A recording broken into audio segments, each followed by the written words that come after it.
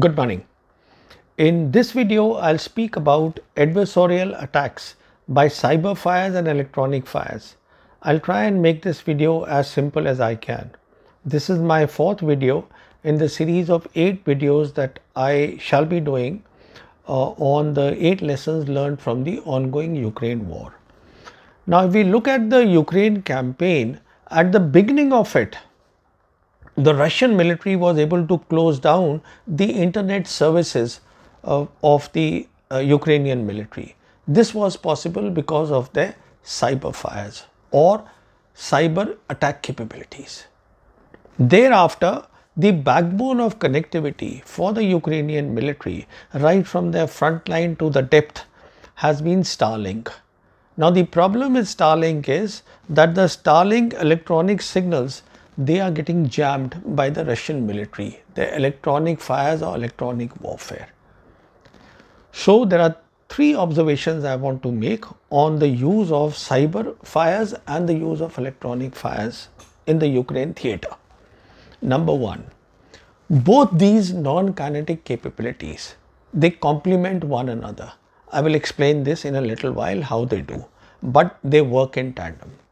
Second observation is that because these capabilities, non-kinetic capabilities, they travel at the speed of light. So the preferred strategy for any country has to be attack, attack and more attacks in these areas. You cannot create what the Indian military has done, a defense cyber agency with all defensive things, it's meaningless. And my third observation is that if we are not seeing some shock and awe because of these two non-kinetic capabilities in the theatre there. It is because of the complexion of war. There's a proxy war going on between two major powers, uh, US led NATO on one side and the Russian on the other side. But if the same capabilities will be brought into our theatre, they will create shock and awe and I will explain how. First of all, in our theatre, we are looking at our main adversary, our enemy is the PLA. Now, PLA is a major power. Indian military is a minor power, is a medium, let's, sorry, medium power. The gap between the two in terms of technology and war concept is 30 years. Now, I will not go in the detail of those 30 years uh, how the Indian military was, you know, lagged behind because I have explained this in my earlier video in some details. So here I will say is that the strategy that the PLA will follow against the Indian military, the absolute winning strategy will be the systems destruction warfare or cognitive confrontation how do you destroy the systems the command systems means what? System is the networked elements as well as command and control centers. Because the whole idea will be to deny communications deny information thereby break the chain of command of the indian military create chaos in the combat zone. That will be the aim. So what is this systems destruction warfare? It has two elements one is the kinetic fires and the second is the non-kinetic fires. I explained in my last video the kinetic fires where I spoke of their land-based missile in the rocket force organization. The other potent organization or a distinctive organization of the PLA, both these organizations, the rocket force and the other force which is the strategic support force organization, they were created specifically after the 2015 military reforms of the PLA for the systems destruction warfare. It is these two organizations which will do the entire or most of the work of destroying the systems.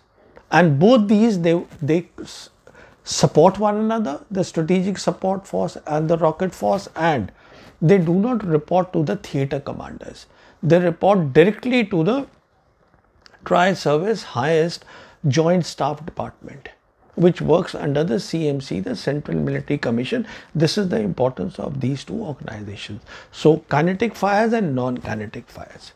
Now, in non-kinetic fires, which is the organization, the strategic support force, what they have brought in is cyber, electronic warfare, electromagnetic spectrum or electronic warfare. I'll just explain the difference in the two and the space and counter space capabilities and the fourth thing is the information warfare which I am not discussing right now because I will include that I'll do a separate video on the information warfare.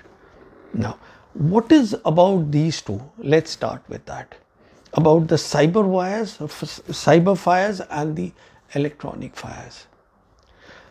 How they are unique is because as far as the cyber is concerned, first of all, what is cyber? Cyberspace is the space between computers and the internet and everything which is in between. That means your processors, your routers, your uh, your wireless networks, your uh, wired networks, everything in between is uh, creates your cyberspace. That means once there is more and more digitization, more and more networking, you create more and more cyberspace. And it is in this cyberspace that the viruses or the malware, which is the malicious software, which is your digital weapons, digitized weapons, software weapons, they operate in this cyberspace. Now, so cyberspace then becomes what is called the controlling domain. Why controlling? Because when you are doing operations on land, on sea, air or outer space, the physical domains, for physical domains, you need information, you need data. Now, if they are infected by the viruses or the worms or the trojans, then how do you get the data? You don't get the data, so it's a controlling domain.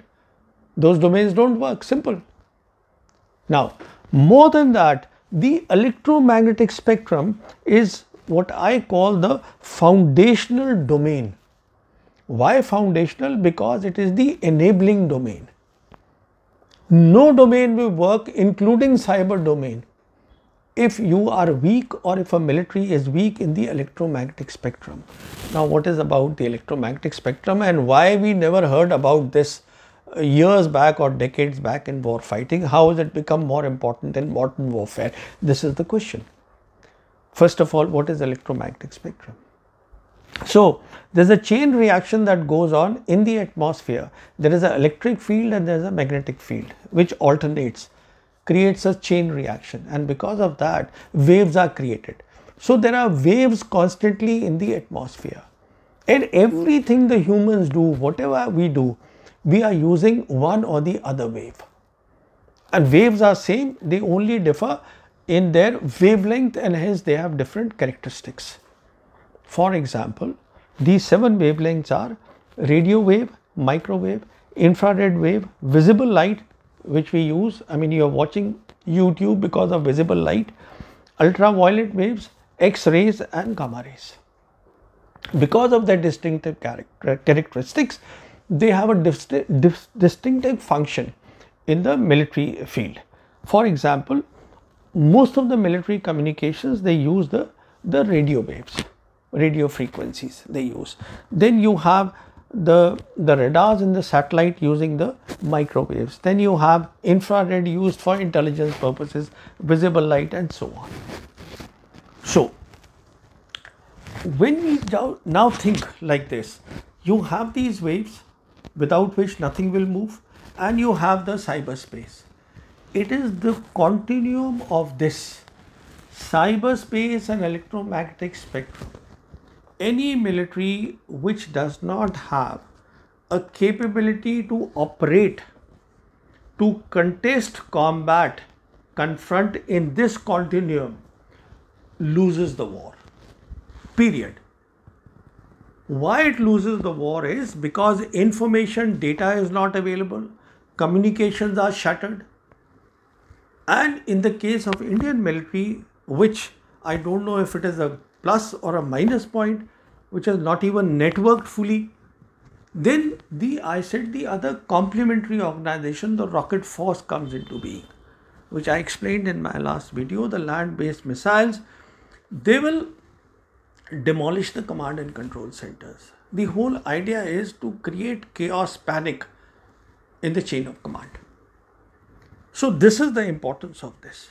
Now, the question is, uh, how is it that it has become so important suddenly, the electromagnetic spectrum? Because after all, electronic fires, electronic warfare has been a traditional thing in the Indian military. Why it has become important is that first of all, everything, the job of the electromagnetic spectrum has become more difficult for the simple reason the electromagnetic spectrum today is contested, congested, and constrained between major powers, which is what is happening in Ukraine.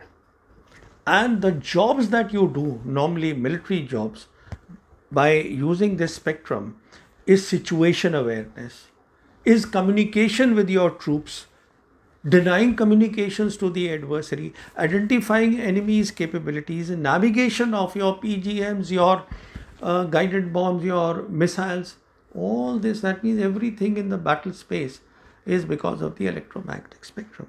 Now, so while the electronic warfare was always there, the key thing is that now there's a requirement for electromagnetic spectrum management. And this is where the importance has come in. That means because it has got congested with so many new things having come into the battle space alongside the demands rising on the commercial side. For example, smartphones, for example, 5G, IoT, they'll all use some spectrum for their functioning. So, how do you manage that? How in war you shift to places of the spectrum, open new spaces in the spectrum, identify quickly what the adversary is doing. This has become a very big thing. And this is where now we have to go beyond electronic warfare. One thing I need to emphasize here why this, which I should have done a little earlier, why this continuum is important. Because the viruses attack in the cyberspace, they destroy the data or the information. So the as far as the cyber is concerned, it is working within the software networks. As far as the electronic warfare is concerned, it is attacking the waves which are carrying this data. That means those software networks, it is attacking them from outside. So this is how they complement one another. Now, going beyond the traditional electronic warfare, this is where major militaries PLA, US military, they are in the lead. And even Pakistan Air Force now has taken a lot of uh, distinctive steps in this area. This is working on cognitive electronic warfare. The Pakistan Air Force has been working on it for the last two years, at least, since 2020. 2020. Now, what is cognitive electronic warfare? This is the use of artificial intelligence and machine learning in electronic warfare. How can you improve electronic warfare? Now, this is certainly the most, uh, I would say, researched field today uh, in the military domain and highly classified. So, what we know, what people, countries are working on is that there is a cat and mouse game going on between electronic warfare and sensors. Sensors have improved a lot Sensors are so good today that autonomously they can detect and they can do jamming. Jamming of the radars. That means an aircraft has come in a hostile area environment and the radar is there, the sensor is able to do that. The, now, you need the countermeasure on the fly. If the radar sensor has detected that and it has done this jamming, then the aircraft should be able to do counter jamming on the fly. That means the EW pod, electronic warfare pods, should have artificial intelligence where they adapt in real time. In real time, they are able to generate new techniques of countermeasures, how to do that. And if they are unable to do that, they store it in their library, the electronic library, that all right, this was a certain thing which emanated from the uh, uh, from the hostile aircraft or the radars. So this waveform has to be uh, understood and kept for the subsequent mission.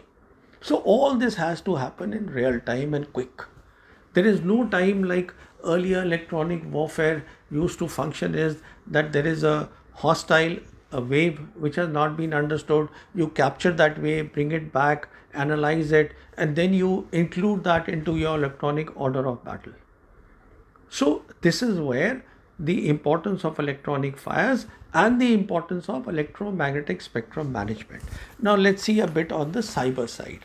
What I said is about data. Now what has happened in cyber is things change grandly, spectacularly after the 2009-2010 Stuxnet attack done by the US and the Israel on the Iranian nuclear centrifuges how things changed was first of all that was the first digital weapon that the world had seen which was actually operationalized. And that because of that digital weapon there was a convergence of the cyber and the physical domains. That means a digital software weapon could actually destroy the the the centrifuges of the Iranian nuclear facility, which is in the physical domain. Now, again, here also a lot of work is going on, just as work is going on in electronic warfare. How the artificial intelligence will impact this is it will impact, it will make cyber attacks stealthier, it will make them precise, it will make them persistent and at a large scale. In other words, with the use of artificial intelligence in cyber attacks, what we call the advanced persistent attacks. We are looking at a campaign or a cyber war. So, what does it require? The advanced persistent attacks. Two things. One is a capability to make sophisticated digital software weapons, which require your cyber nerds who can write complex algorithms. You need fast processing capacities, you need computers which are uh, supercomputers and you need nanotechnology. All these things china has we don't have. Indian military lacks this. That means at a campaign level we will not be able to do anything. Now in any case what we have is a defense is a defense cyber agency which was raised in 2019 which is nothing more than a uh, defensive organization looking at the defense. And as i said in cyber it is all about attack. You have to have offensive stance nothing short of that. Now as far as this continuum is concerned what i spoke of the cyber and the electromagnetic spectrum if a virus is inserted in this then by electronic signals because after all there are satellites the virus can be conveyed or it can be passed on through those electronic signals and it can destroy even the electro optics and the synthetic aperture radars which are there on the satellites a huge damage can be done. That means then these three things connect. In any case the pla has today uh, very massive capabilities counter space capabilities. Today they can not only jam the satellites they can destroy them with their missiles which is the asat capabilities and they can throw the satellites out of their orbits by robotic arms. It is because of the chinese space and counter space capabilities that the us military created the space force and now in this budget they have they have been budgeted for or they have got the finances to create a virtual training ground for space conflict so now think about what all I have said. These two organizations, the rocket force with the land based missile and the strategic support force with the cyber, counter space, and the electronic warfare capabilities. When they work in tandem, the communications will be destroyed. The communication will be destroyed because if you are a medium power, and do not have capabilities in this domain or they are very little they are defensive capabilities then you cannot expect the campaign to run for more than 72 hours and perhaps the war will be over in less than 10 days and this is precisely what I have discussed in my book The Last War. Now in my next video I'll be talking about drones, drones in the Ukrainian theater and how the drones, what sort of, what the drones will do in our template which is an entirely different theater. Thank you.